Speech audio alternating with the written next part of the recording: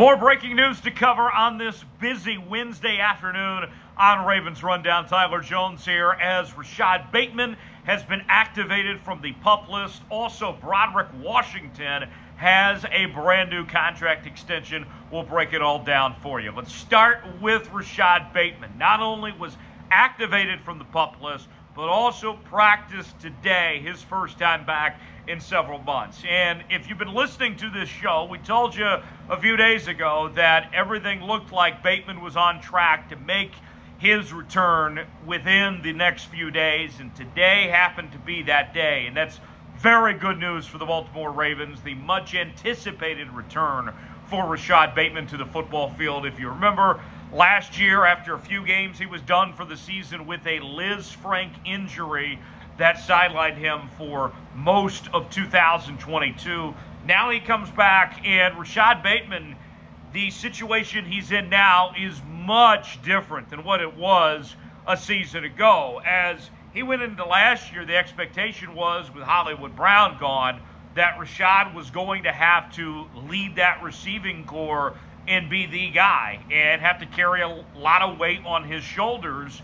And now you fast forward to this year, and since the injury to Rashod Bateman, the Ravens have added the likes of Odell Beckham Jr., Nelson Agholor, and Zay Flowers. And those three other receivers, not to mention how good your tight end room is with Mark Andrews, Isaiah Likely, and Charlie Kolar, but just the receiver room alone, all three of those guys we've heard nothing but good things from for their impact this offseason of the way they performed. Nelson Agholor has been a huge surprise how well he stepped up to the plate. Zay Flowers has been arguably the star of the offseason for the Ravens. And then OBJ, sure, he's had a few days off here and there, but when he's been active, when he's been a full participant, he's looked really good and he's flowed with uh, Lamar Jackson. So this is great for Rashod Bateman. He might not be the number one receiver, uh, but you know what? Whatever role they find for him, he is going to be very valuable for this receiving corps one way or the other. Last time we saw Rashod Bateman on the football field last season, he had 15 catches for 285 yards and two touchdowns. The year prior to that, in 12 games played, he had 46 catches for 515 yards and one touchdown uh, there in 2021. Both seasons were shortened up by injury, did not play uh, the full season in either year for the former first round pick out of Minnesota. So, before we get to the Broderick Washington news, let's start with Rashod Bateman and tell us what you think. What's your one word reaction to the return of Rashod Bateman to the practice field for the Baltimore Ravens? Give me one word to describe it all. My one word is finally. Rashod Bateman's back. Thank goodness. I'm glad to see him back, and hopefully he has a big impact on this Ravens team as far as I'm concerned. Give me your one word reaction in the comment section below. Folks, this is why you subscribe.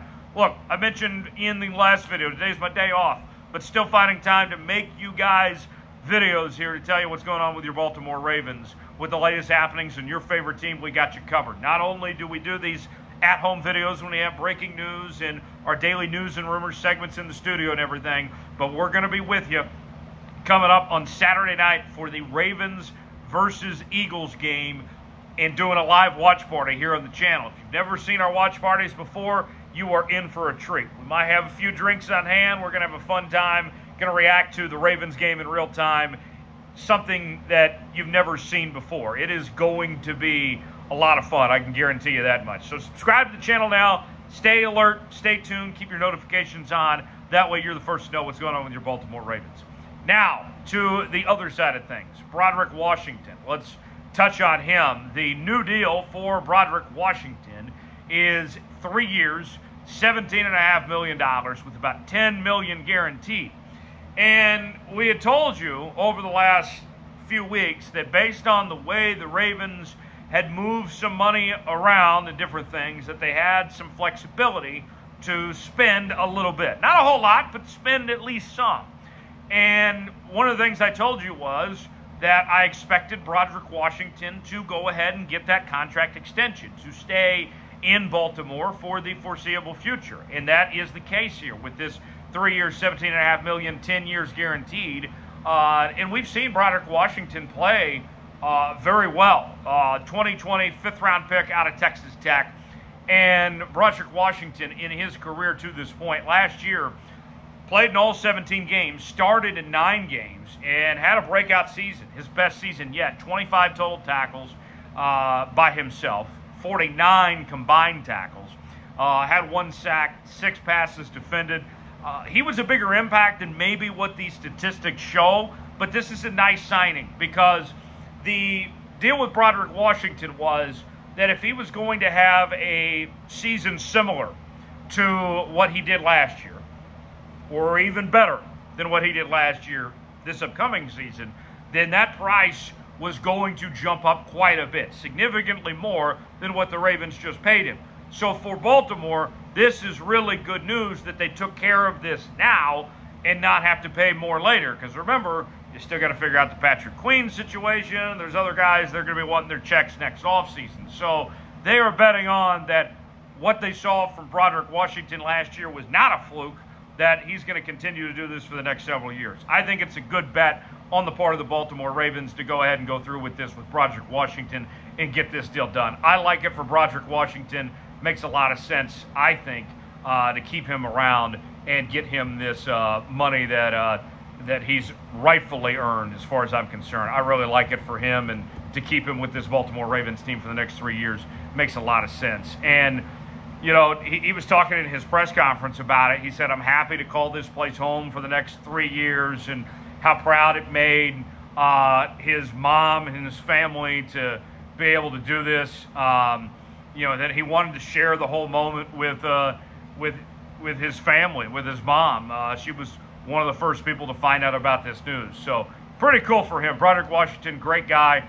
Um, he, he went on to say something to the effect of, too, when mentioning his mom, I'm glad my mom wasn't here. I would have cried.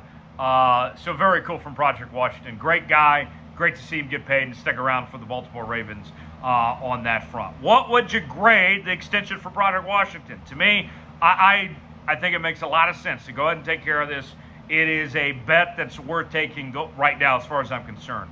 Put a grade on it, A, B, C, D, or F. Let me know what you think of the grade uh, for the extension for Broderick Washington. Let me know what you feel in the comment section below. Folks, thanks for joining us on this special edition of Ravens Rundown. Stay tuned to the channel. We'll have you covered uh, throughout the rest of the week with everything that's going on with your Baltimore Ravens. Don't miss out on our watch party coming up uh, it will be on Saturday night for the Ravens game against the Eagles, and we're going to have a lot of fun. You will not want to miss out on that. Stay tuned to the channel. We got you covered. Give me a follow on social media as well Twitter, Instagram, Facebook threads as well. It's all the same at Tyler Jones Live. You can find me there. I'll see you next time right here on Ravens Rundown. Appreciate you joining us.